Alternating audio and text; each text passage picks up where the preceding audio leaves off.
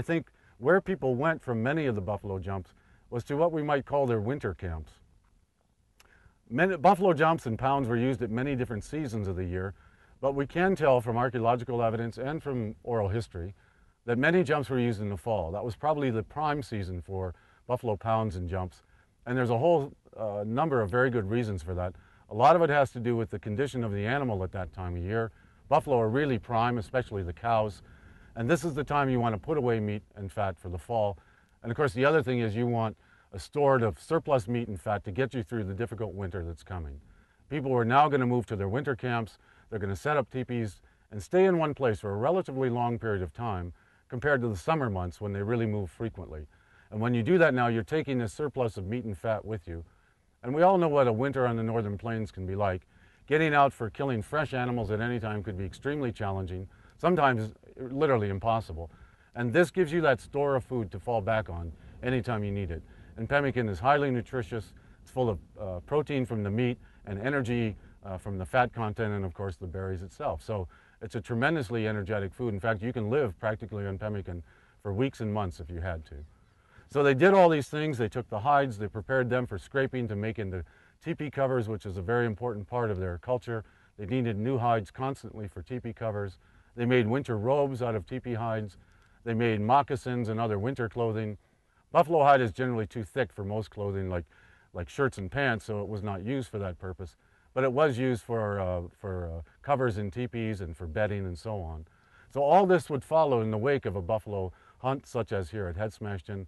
And this took days and days, and it, much of it happened down on the flats below me here on this level prairie where they had spread out, take their room, and, and uh, probably hundreds of people en engaged in this. The other important thing down on the prairie is that there's a, a source of water. There's a natural spring that seeps out from the bedrock here at the jump. It flows across the prairie, uh, leaving the channel that you see now. And people could go to that and get water. And of course, water would be critical for any buffalo jump, not only for the people to drink to stay alive and uh, uh, subsist on during the days that they're here, but to use in the butchering and processing of the animal. They did a lot of cooking, a lot of boiling of pits in the ground, and all that required water. So many of us feel you won't even find a buffalo jumper a pound anywhere a considerable distance from water. These were some of the things that happened in the days after the, the jump was over. I can picture dozens of teepees down here, hundreds and hundreds of people, busy almost around the clock. Uh, you're trying to avoid spoilage of the meat and the fat, and, and you had so much to do that people probably took shifts and slept for a few hours and got back up. Fires burned through the night. Uh, people worked literally uh, almost around the clock for days and days. And also, scavengers and predators are starting to get the smell of all this now. They're probably starting to come into this area and be a bit of a nuisance to these people. I think people left this site relatively quickly. Head Smashed In and many of the other buffalo jumps we know of were not campsites. They're not permanent residents. You don't stay in a place like this. It's a place you come for a specific purpose. You do your work and you move on. And where they moved to in the case of Head Smashed In, I think is fairly clear. We, we're almost sure that the, the Oldman River Valley, just a few kilometers from us here, was a major winter camping site for the groups that use this site.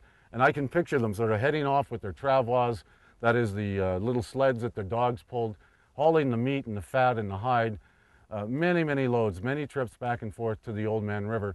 There they have shelter from winter storms. Uh, very importantly, they have wood for the fires that they need to keep warm in the winter. And, uh, and they have water, of course. And um, that's a classic winter campsite in the northern plains.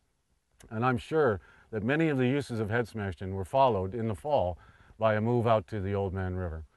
And then they would settle down for a number of months and continue butchering and processing the animal spoils, uh, processing the hides, uh, cutting up the, um, uh, the meat even further, and, and, and, of course enjoying a lot of feasting. I think that would have been the order of the day for many days after these, these events were over.